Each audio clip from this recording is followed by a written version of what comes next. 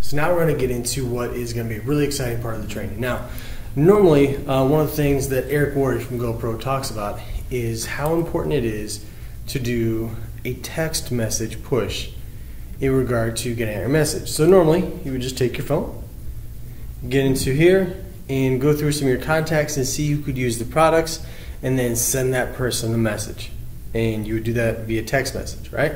Now, problem is starting to become that uh, as we rely on uh, messaging and Facebook and some people Snapchat, some people Twitter to do our actual conversations, uh, and Instagram as well, fewer people actually have the telephone numbers. So this was starting to be an issue. So, you know, Eric Worre did this thing on how um, text messaging is really one of the next breakthroughs. But I would argue that even beyond that, there's even a cooler feature, and it's going to come to us through uh, Facebook. So check this out.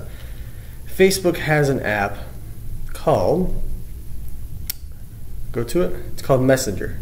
Right? You see it right there. So you open up Messenger and you're able to message people, kind of like texting, except it's all of your Facebook contacts. For so, for example, um, I've got like almost 3,100 people on my friends list now, so I have the potential of 3,100 people that I can message. Text messaging, I do not. Here's another cool little fun fact for you, right? And found this online. So regarding Facebook Messenger, as of April 22nd, 2015, there were 800 million people who used the Facebook Messenger app. So what that means is this is you'll see that there are always notifications on your phone and those are kind of things that draw your attention right so normally if i have a text message come in i get the notification i see oh man i need to respond to this so that's one of the things that's one of the reasons why eric Worre says hey this is a great method to use because it's right on their on the phone and they're going to see that well the majority of people have facebook on their phone 800 million people. And actually, I read something because um, that was uh, last year's last April statistic. So um, now that number is even greater. I heard it's almost a billion people uh, as of last report. But here's here's the way you do this. All right, you go into Messenger. All right, so you got your messages right in there, and you'll just go to. You'll just go up here and push that see if I can do it backward on phone. There you go. And so what I can do is I can select someone from list. So what I'm going to do is I'm going to select someone from list and I'm going to do kind of a modified favor script with them. So now here's the thing. We've been doing um, messages through Facebook. Some of you have probably been using Facebook Messenger if you've been uh, on your phone doing this, but here's a really cool feature.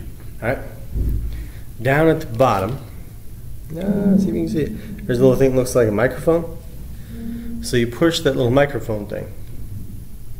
I push that little microphone thing there. See, it's highlighted in blue up at the top there. All right, and then you can record. All right, so it's going to be as simple as this.